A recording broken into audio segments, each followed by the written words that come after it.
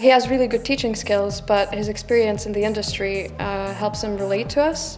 Well, he can transfer those skills to us, and those skills are really, really valuable in the games industry. I'm very hands-on, uh, always just keeping track of all our work. A really great tutor. Three golden rules I've I bring to my students that I've learned from having worked in the games industry and all three of these rules I broke.